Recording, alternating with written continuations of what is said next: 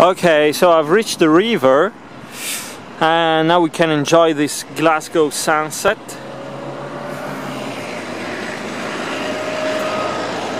I found quite a few pubs with the live music gigs listing outside, but um, the town seems empty.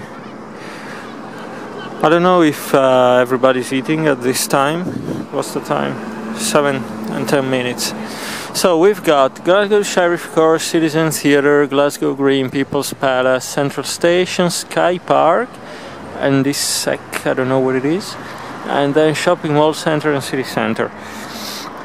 So the BBC should be right in this direction after, yeah, on the other side of the river, like a couple of kilometers, not too far. Now maybe you can walk a bit along the river and see. Oh, there's a bridge here.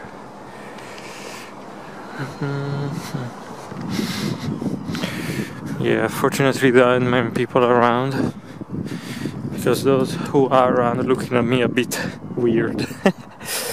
Never mind.